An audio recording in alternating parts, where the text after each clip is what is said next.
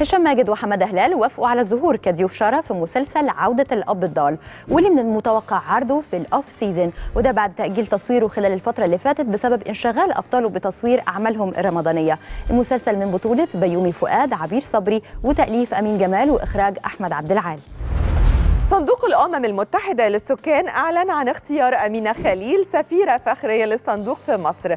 وده في حفل أقيم الأسبوع اللي فات. وحضروا وزيرة التعاون الدولي الدكتورة رانيا المشاط ورئيسة المجلس القومي للمرأة الدكتورة مايا مرسي وعدد من رموز المجتمع. كاميرا لايت شو غطت فعالية الحفل. والتقت بأمينة خليل.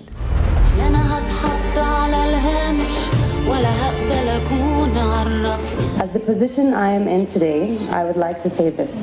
A person, especially a woman, أمينة خليل واحدة من النجمات اللي بتركز في كل عمل إنها تناقش قضية ليها تأثير كبير على المجتمع. بتحرص دايما إن القضية دي تكون بتخص المرأة. ليه ده لوحدي ليه؟ وده اللي رشحها لمنصب سفيرة لصندوق الأمم المتحدة للسكان. With all her might, emotional strength, and wisdom, كاميرا لايت شو التقت بأمينة خليل واللي اتكلمت عن حلمها اللي اتحقق بالمنصب ده وخطتها كمان الفترة الجاية فيما يخص قضايا المرأة. فخورة جدا آه، بيوم زي ده.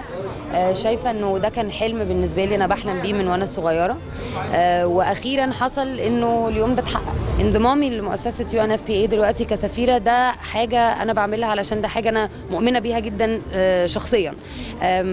دوري كفنانة ده واختياراتي عامة في عالم الفن يعني مش necessarily هيبقى ليهم دعوة ببعض. أنا بعمل حاجة لل... عشان ده حاجة أنا مؤمنة بيها فعلا وال... وال... والفن ده هيبقى حاجة تانية. فما أظنش إن هم هيبقوا حاجتين مندمجين في بعض. أنا مش متأكدة بالظبط أنهي قضية أنا هتبناها ولكن أنا مهتمة جدا بختان البنات مهتمة جدا ب...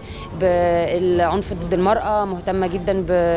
بحقوق الإنسان in general فيعني إحنا دلوقتي هنبدأ دراسات كتيرة جدا ما بيني وما بين ال UN بحيث إن إحنا نقدر نشوف أنهي قضية أنا هقرر إن أنا هدعمها fully بس طبعا مش معنى إن أنا هدعم قضية واحدة ده معناه إن أنا ما أقدرش أدعم قضية تانية بل بالعكس أنا هبقى دايما حريصة إن أنا يعني ممكن أعمل حاجة في حتة وبعدين حاجة في حتة تانية يعني فمش مش هختار واحدة أنا بسبق بتحدى ظروف انت ما بتعيشهاش